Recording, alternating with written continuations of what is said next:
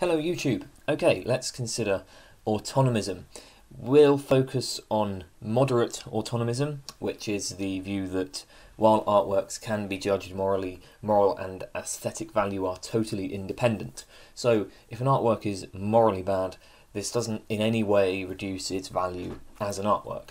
Um, so first, one thing that's worth noting that's not so much an argument for autonomism as maybe an important influence on it is a concern about censorship. A lot of artists want to preserve free expression, they want to preserve the kind of liberal attitudes that give them free rein to uh, do what they want. Unfortunately, many people have had uh, very authoritarian attitudes towards art. There's a constant culture war going on between artists who push the boundaries and those who want to shut them down. These days, uh, if you draw a picture of Muhammad, you can expect to receive death threats from militant Islamists. If you create heavy metal music, then some fundamentalist Christians will say that you're the tool of Satan. If you have too many images of naked women in your movie, then uptight feminists will say that you're a misogynist who is objectifying women, and so on. The attempt to um, to kind of shut down free expression comes from many directions, and it's plausible that autonomism uh, is something of a reaction to this. We don't want to let the authoritarians get a foot in the door, so we uh, we try to kind of keep ethics and art separate. But you know, it's, it's, important to bear in mind that just because we allow that moral badness might make an artwork aesthetically bad, uh, this doesn't entail censorship of any kind. Censorship is a, a whole different matter. I mean, we can all agree that the views of people like the Westboro Baptist Church are, are morally repugnant. Um, you know, that's surely an example of attitudes that are morally bad but it's clearly possible to defend their right to express those views. In any case, also bear in mind that, that art is an important tool for, for challenging reactionary and conservative attitudes. So, while it's true that there have been many moralists who've tried to censor art, uh, many artists will use art explicitly for political and moral purposes. Art is one of the best mediums for challenging censorship. Um, so, if you respond to the authoritarians by insisting that aesthetic and moral value are independent, you may also undermine the, those artists who've used art to challenge authoritarianism. So, uh, the point is, autonomism cuts both ways, then. Okay, turning to explicit arguments for autonomism, uh, one argument is suggested by formalism. Uh, formalism was quite a popular view of art for some time. Um, actually, I guess it is still quite popular in, in some quarters. Uh, so, a standard theory of art for many, many centuries was the representational theory of art, or the imitation theory of art, according to which the function of art is to represent things in the world, or imitate things in the world. A portrait of a person, a landscape painting, a play set in a particular historical time. These are all exemplars of, of this uh, kind of theory, um, that, that art represents things in the world maybe not necessarily real events. I mean, the play could be sort of somewhat fictional, but it, it still serves to um, it still serves a representational role. It's still representing particular people doing particular things. Now, the formalist theory of art was a reaction to this kind of theory. Uh, we um, we draw a distinction between form and content. Now, explaining this distinction in any detail turns out to be pretty difficult, but we all have an intuitive grasp of it. So, take a painting. In painting, the form of a painting is a matter of the structure of the composition, the arrangement of shapes, lines, colours, spaces, textures. The content is what is represented, what is depicted, and this may include the messages and themes of the work. So here's a painting by J.M.W. Turner. If we describe the content of this painting, we'd say that it depicts a large ship being pulled by a tugboat towards a harbour while the sun sets in the background. We may also talk about the cultural and historical associations the piece has. If we talk about the form, we describe the arrangement of the objects in the composition, the kind of brush strokes used, the chosen colour palette, and so on. Now, formalism is the view that what is relevant to aesthetic value is form, not content. So, the fact that Turner's painting depicts uh, a particular event with a particular ship may be interesting for various reasons, but it's not relevant to aesthetic value. And um, uh, this kind of view was a, a big influence on, on abstract, non representational art. Think of artists like Jackson Pollock, Vasily Kandinsky, Mark Rothko. Their paintings exhibit pleasing forms without imitating or representing anything. Now, it should be clear how, uh, how autonomism is a natural development of this view. Moral concerns are going to arise with the content of the piece, uh, with its with its message and meanings. The the formal structure, the mere placement of shapes and colours, isn't going to give rise to moral problems. It's only you know if we sort of say, okay, this film is this film has a pro-Nazi message, or this film has a misogynist message. This book is racist. That's going to give rise to moral problems. But the mere formal content, um, there's no there's no moral question about any of that. But if we accept formalism, then insofar as we're talking about the content, we're not really talking about the artwork's aesthetic features. The content is not among the aesthetic properties of the artwork.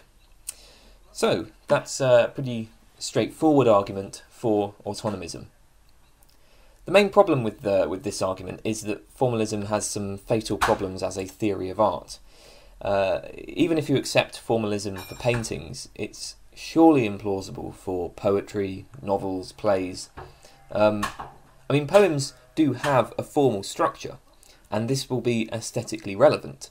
The, the, the, meter, the sound of the rhymes, maybe even the way the words are set on the page, you get with like visual poems, you know, they, they may have a visual formal element. Um, but pretty clearly, the, the, the, images evoked by the poem will have to be taken into account as well. Um, and with you know with a novel, you're ignoring the main part of what a novel is if you ignore the content. The whole point of a novel is to tell a particular story, create a, a world. Um, so formalism should be should clearly be rejected for, for these forms of art. And actually, formalism doesn't even work for visual art. Um, the, the trouble is that we can't neatly divide form and content. There isn't a strict uh, line between form and content the content of a painting may be essential to its form. An excellent example of this is, is given by Noel Carroll in his introduction to philosophy of art, and that's Bruegel's Fall of Icarus. If you look at this bit here, at the bottom right, you can see a leg splashing in the water. This is Icarus, who's just splashed in the water after falling from the sun. Now, there's a formal tension in this painting, in the way that the significant event indeed the event that gives the painting its title. This is literally the event that the painting is about, the centre of the painting. This event is set off to one side. It's just kind of ignored, whereas the mundane background events, uh, ships coming in, some guy, you know, ploughing a field, these are given prominence. Somebody just glancing at this painting would probably not even see the leg. So, as Carroll says, uh, the painting has an, an off centeredness or asymmetry, and this is clearly a formal property. Um, so here's what Carroll says about it. To appreciate this formal structure, it is necessary to attend to the representational content. The pertinent formal tension could not be could not be detected and appreciated. Indeed, it would not be there were the representational elements in the painting strictly irrelevant. So we shouldn't accept formalism. So we can't appeal to formalism to defend autonomism. A second argument for autonomism is the common denominator argument. Uh, again, I, have got this one from Noel Carroll, um, who suggests that others have given it, although he doesn't accept it himself. Uh, I don't accept it either. It seems to me a very silly argument. Uh, I can't really imagine any philosopher giving it. It just seems like nonsense to me. Um, in fact, I, it, it strikes me as so dumb that I wonder whether I've just misinterpreted it or something, but I'll do my best to explain it. According to Carroll, the common denominator argument goes like this. First, we note that moral concerns are uh, clearly don't apply to many artworks. A purely abstract painting, for instance, or a pure piece of uh, instrumental music, these aren't going to promote any particular viewpoint. They're just uh, they're just pure art. There's uh, there's nothing to assess morally. There's no message, no theme, so we can't bring any kind of moral assessment to these works. Now, here's the crucial premise, and I'm quoting Carroll directly. Whatever we identify as the value of art should be such that every artwork can be assessed in accordance with it. So that is, when we assess an artwork aesthetically, we should use standards that are universal to all art.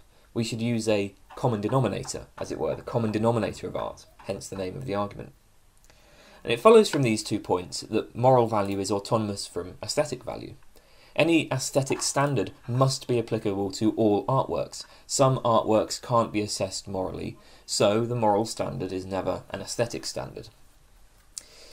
The obvious problem with this argument is that there are many different kinds of art, and it's pretty obvious that they all have their own standards of evaluation. The criteria used for assessing the cinematography of a film simply can't be applied to the assessment of the narrative construction of a book or the idea expressed by a piece of conceptual art. Uh, now, there may well be properties that they all share, but these are going to be very vague general properties. So we might say that the cinematography, the narrative of a book, and the idea behind the conceptual art are all beautiful, or they all have a striking simplicity, or whatever. But when we evaluate these things in more detail, we're obviously going to appeal to standards unique to each form of art. So, at the end of the day, the basic claim that any standard of aesthetic evaluation has to be universal is just clearly, clearly silly. Um, another issue with this argument is with uh, the first premise, the claim that there are artworks outside the moral domain. What I would say here is that there are many artworks that are morally acceptable. But there's a difference between saying that something is exempt from moral evaluation and saying that it's morally acceptable or morally neutral. Consider a rock. A rock is just not something you can evaluate morally. It's not a moral agent. Even if it falls off a cliff and whacks somebody on the head and kills them, we wouldn't say that the rock has done anything morally wrong. You, know, you wouldn't sort of haul it off to be uh, tried in a court of law for murder or whatever. Rocks are outside the, the, the, the domain of moral evaluation. Now, in my view, all intentional actions performed by reasonably well developed humans are subject to moral evaluation. Uh, many of these actions will be morally acceptable. But to say that something is morally acceptable is to make a moral evaluation, it's to make a moral judgment about it. Uh, notice that all artworks, being human creations, are open to interpretation. We can always ask of an artwork, why is the artist doing this? Or what does this art- artwork mean? And we can ask this of purely abstract artworks. Uh, so take John Cage's number piece 103. This is a piece of purely orchestral music. So we might say that this is just sound. There's no perspective or attitude presupposed by the piece, so as with rocks, there's nothing to evaluate morally. But Cage himself saw his uh, number pieces, like uh, his piece 103, as being anarchistic. He said that a performance of 103 is a, a microcosm of an anarchist society.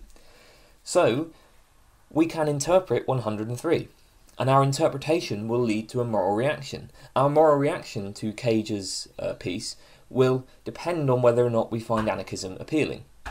So I think it's I think both of the premises of this of this argument are um, uh, should should be rejected. I think it's unpersuasive. Okay. Third, the autonomist may draw an analogy to empirical facts. I'm sure you've encountered people who uh, have uh, watched a film or read a book and they criticise it on the grounds that it isn't realistic or that it isn't historically accurate. So, of a scene set in a courtroom they may say, oh, trials don't really happen like that.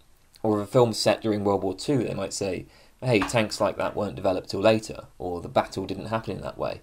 A specific example, take the film Pearl Harbor. This was about the Japanese attack on Pearl Harbor during World War II. It received some severe criticism for historical inaccuracy. Now, in my view, uh, these kinds of criticisms are deeply misguided. They rest on basically misunderstanding the nature of fiction Fictions are different from the real world. There are going to be objects or events in a fiction that differ from the real world, and this is just a conceptual point. If an artist simply copies the real world, he hasn't created a fiction. So the artist has to change some things, and there's no limit on what an artist can change. If I want to set a film in World War II but give the soldiers tanks that weren't developed until the 1960s, that's in principle totally fine. Why shouldn't I do that? Historical fiction is still fiction, and in a fiction, you can depart from the real world in whatever ways you like. So, while certainly, you know, you can criticize a fiction for many reasons, you know, you can't criticize a fiction just because it's unrealistic or inaccurate. So, it's misguided to criticise an artwork merely because it departs from empirical facts. By analogy, then, perhaps the same is the case for moral criticism.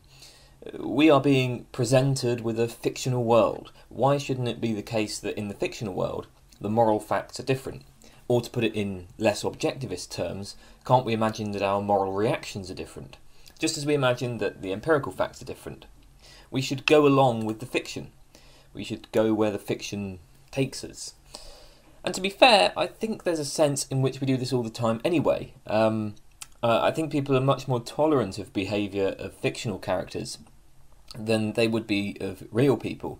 Uh, you may think, for instance, that vigilante justice is a bad thing, but in fictions that have uh, revenge themes, you can put your moral concerns about vigilantism to one side.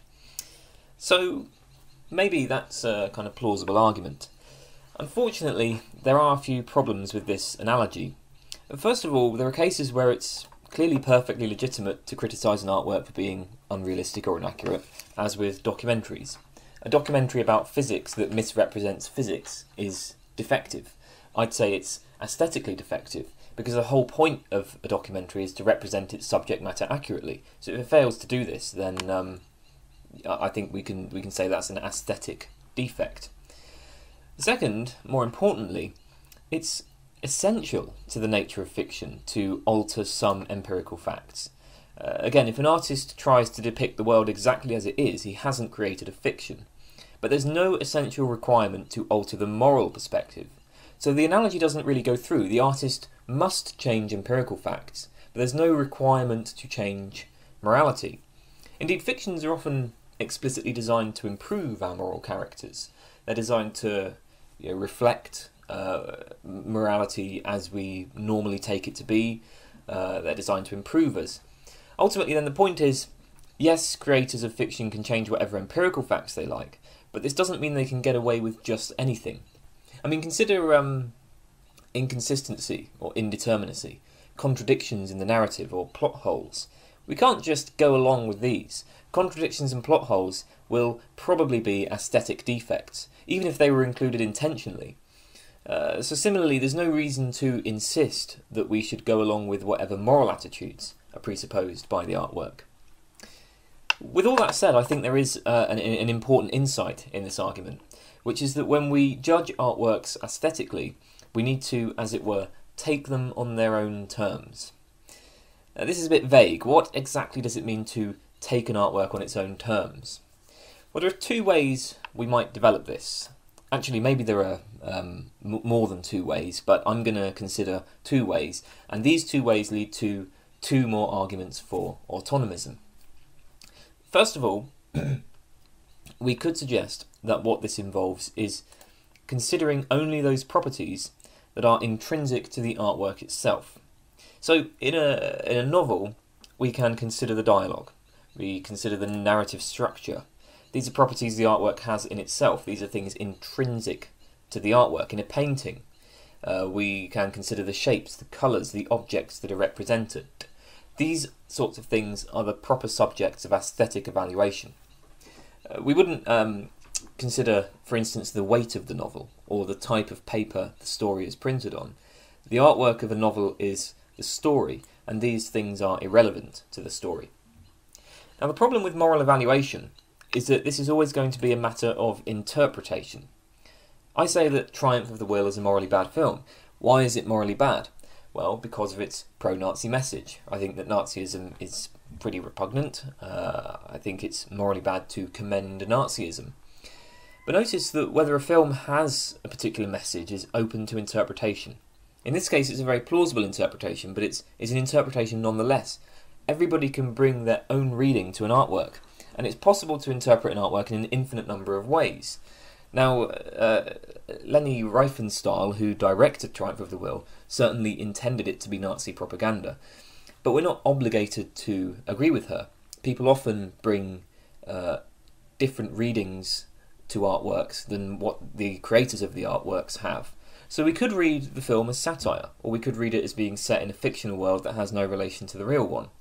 Um, we can read it basically however we like. When we make moral evaluations of artworks, then, we're not taking the artwork on its own terms. Instead, we're judging the artwork in terms of our particular interpretation of it. Um, this approach isn't persuasive. The problem is it rules out too much. I suggested that in a painting, what is represented is intrinsic to the artwork, but this is false. Representation is also a matter of interpretation. Here's a sculpture. Um, what does this sculpture represent? Well, uh, we would say it's a sculpture of a rat, so presumably it represents a rat. But suppose we're playing a game of chess. We've lost a load of the pieces, and I say, this is the king. Or suppose we're plotting a prank. It's a very complex prank and we need to map it out beforehand. So I pick up this little sculpture and I say, you know, this this here is the victim, uh, you know, and then we do this and so on. Well, in these cases, the object no longer represents a rat. It represents a king or a victim of a prank. Representation isn't intrinsic to the object. Anything can represent anything else. It depends on your interpretation of it. Now, certainly, I mean, it does visually resemble a rat, but representation isn't the same as visual resemblance. In fact, in many ways, it's uh, it doesn't resemble a rat. I mean, um, you know, this sculpture is made out of completely different material to what a rat is made out of. Um, it may be sort of different size as well, uh, but um, okay, it does visually resemble a rat. So that the natural interpretation is that this represents a rat, but it, that's that's still ultimately interpretation. It's still subjective anything. It can represent anything. Um, consider the plot of a book or a film. There will always be events left out. The artist will always leave gaps that you have to fill in yourself, and it might be something as simple as you know how did how did this character get from this place to that place. There'll always be relevant things that you don't see. So the the story itself involves interpretation. So, while it's true that the message of an artwork is a matter of interpretation, so are a number of other things that are obviously important to aesthetic value, such as the plot of a film or the objects a painting represents. Ultimately, then, this approach ends up committing us to a, a very extreme brand of formalism, which, as we saw, is, is implausible as a theory of art. So, the second, the second way of explaining this notion of taking an artwork on its own terms is to appeal to the nature of aesthetic experience. I think this provides probably the most sophisticated argument for autonomism. The basic claim here is that artworks provide us with a distinctive kind of experience. There's something special about the particular way in which we engage with artworks. We, um, we have a distinctive frame of mind when we're in an art gallery or when we watch a film or read a book. Here are some bricks. Uh, there are many ways you might look at these bricks you might look at them as a, a, a resource, um, as building materials, for instance. Or you might take a scientific approach and ask, what are these bricks composed of? Let's study them and find out. Now I tell you that this is an artwork. It's called Equivalent 8 by Carl Andre. Now, whether you like or dislike this piece, personally I'm not a fan of it. It's not really my kind of art. But when I tell you it's art, your perspective on it changes quite significantly. There's a, a palpable shift in your frame of mind. Suddenly, it's not just a bunch of bricks. You see that these bricks have been arranged intentionally to form a whole larger object. It becomes more than the sum of its parts. Again, this doesn't mean you have to like it. Maybe you hate it. Maybe you take this as an example of how ridiculous modern art has become. My point still stands. Because if you looked at this as just a bunch of bricks, it wouldn't produce such a deeply negative reaction. So whether you like this or hate it, the fact that we're calling it art radically changes the kind of the attitude you take towards it. And what all this suggests is that there's a distinctive aesthetic attitude that we take towards artworks, a special aesthetic frame of mind. Uh, and actually, we don't just take the aesthetic attitude towards artworks, we can appreciate nature aesthetically. Suppose you're out having a meal with friends, you look out a window, and you're struck by the beauty of the forest in the distance. Well, here you're taking the aesthetic attitude towards the forest. It's a very different sort of attitude to, uh, for instance, a logger who looks at the forest and thinks, you know, boy, I could sell a lot of wood if I cut those trees down. One of the most popular accounts of uh, this attitude is Jerome Stolnitz's concept of disinterest. when we appreciate something aesthetically, when we take the aesthetic attitude, this involves taking a disinterested attitude towards it. Now, disinterest doesn't mean uninterested. If the artwork is good, you're going to be interested in it. What, what disinterest is, is it involves putting aside your own personal and practical concerns. It, it's about valuing the object for its own sake. The logger who looks at the trees and thinks of all the wood he can sell is looking at the trees interestedly, not disinterestedly. We might say that he has ulterior motives. He's thinking of his own personal benefit of the amount of money he can make. Um, if a young child does a really rubbish drawing, uh, her own parents will probably not be able to see it disinterestedly. Their judgment of it will be clouded by their love for their child. So, monetary value, personal connections, practical usefulness, all of these are put to one side when we adopt a disinterested attitude. So, if we let our moral evaluation affect our evaluation of the artwork, we're not engaging with it disinterestedly. Taking the aesthetic attitude means putting these kinds of concerns to one side. We should be prepared to go along with wherever the artwork wants to take us. The question we should ask is not is the artwork's message morally good or morally bad, but does it communicate its message effectively? That the latter is aesthetically relevant, the former isn't. It's worth noting, incidentally, that uh, it can be difficult to attend to something disinterestedly. A famous example from the literature is uh, being on a ship that becomes surrounded by thick fog. You can attend to the fog with disinterest, and fog has quite pleasing aesthetic properties. Its thickness, its opacity, the way it totally engulfs you. It's a very unusual experience. But if you're on a ship, fog will be cause for alarm. It's a threat.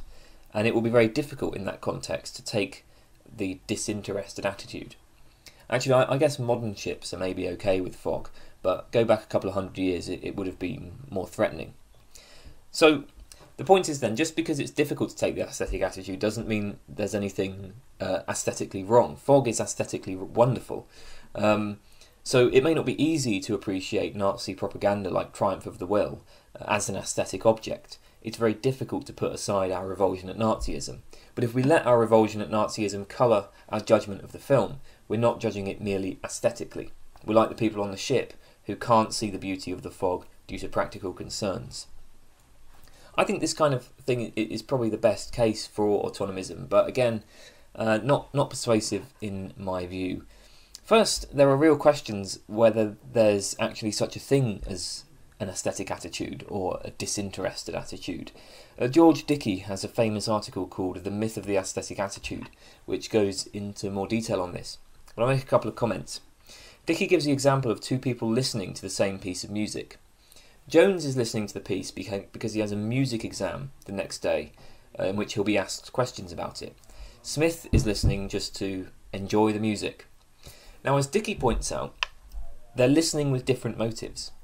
But it's not that their attention itself is any different. They're both attending to the music, and they may both be attending to exactly the same elements in exactly the same way. Uh, so, according to according to Dickie, there's no such thing as interested attention or disinterested attention. You can just attend to things or not for a variety of different reasons. Consider again the people on the boat surrounded by fog. I think what Dickie would say here is that they're not they're just not attending to the fog. They're distracted. They're concerned about their ability to navigate. Similarly, the logger isn't attending to the trees. He's thinking about how he, how he might be able to increase his wealth. So this kind of thing suggests that the very idea that there's such a thing as a distinctive aesthetic attitude might be mistaken. The main problem with the appeal to aesthetic experience as an argument for autonomism is why shouldn't we take a disinterested attitude to moral properties? Can't moral properties be valued for their own sake? Uh, I mean, in fact, if anything is valued for its own sake, surely it would be moral goodness. Moral properties aren't instrumental. Morality isn't something we value for some further reason, for some ulterior purpose. We just want people to be moral. It's not obvious why we can't watch Triumph of the Will disinterestedly and disinterestedly arrive at the conclusion that it's morally bad. So at this point, it might be tempting for the autonomist to respond to evaluate something morally is to judge it in terms of your own personal values. It's to apply your own standards to the artwork, so you're not taking it on its own terms. and this is absolutely true. Uh, when you watch Triumph of the Will and, and, and come to the conclusion that it's morally bad, you are certainly judging it by your own standards. Um, but exactly the same is true of aesthetic evaluation. Adopting a disinterested attitude evidently doesn't rule out judging that something is good or bad. That's what we do when we judge things aesthetically. Some artworks are aesthetically good, some are aesthetically bad. So, if adopting a disinterested attitude involves attending to whatever happens in a Zen like, uh, monkish sort of way, making no value judgments about it, then this attitude has nothing to do with aesthetics. The aesthetic attitude is fundamentally an evaluative attitude. So, I put on Triumph of the Will. I'm not asking what practical use it might have. I'm not thinking about what effects it might have on society. I'm not considering its historical or educational value. I'm just watching the film, I see that it commends a pro Nazi attitude, and I judge that this is morally repugnant. How is this any different in principle from watching it and judging that it's long and plodding and should have been edited more tightly? Um, so, those were some arguments for autonomism. Uh, I don't find any of them persuasive, um, and in the next video we'll see if moralism does a better job. But that will be all for now. Thank you for watching. Goodbye.